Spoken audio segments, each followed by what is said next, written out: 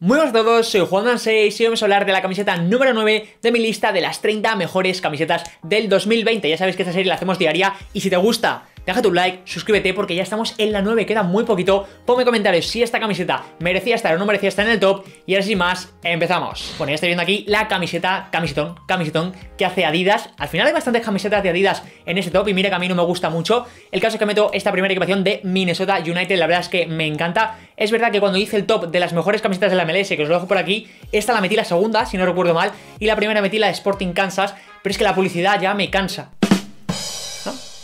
El caso es que vemos un camisetón. A mí es que el Condigo 20 me gusta bastante, entonces ese corte al pecho me gusta. Las tres rayas, en vez de ir a, pues no sé, como suelen ser horizontales, pues me gusta más en diagonal, como esta misma camiseta, que por cierto os dejo por aquí de, Los Ángeles.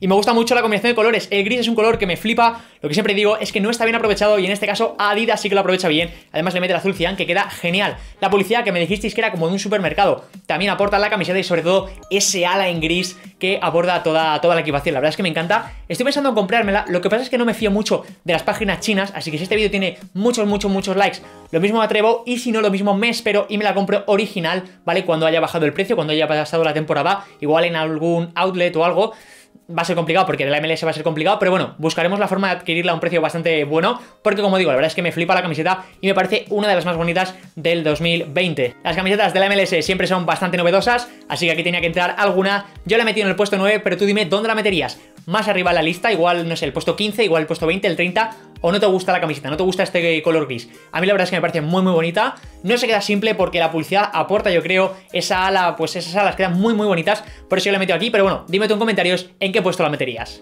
Y también es importante que me dejes un like, que te suscribas aquí al canal y que veas la camiseta número 10 de mi lista, que también era muy muy bonita y que podía haberse colado aquí, la verdad. O sea, es que están todas muy parejas. El caso es que, bueno, si te estaba gustando el canal, ya sabes que te puedes suscribir, como he dicho, y activar la campanita, que la tengo aquí preparada, porque estoy subiendo dos vídeos al día en diciembre. Sígueme también en mi Instagram, donde hago contenido exclusivo, y mañana nos vemos con dos nuevos vídeos. ¡Adiós!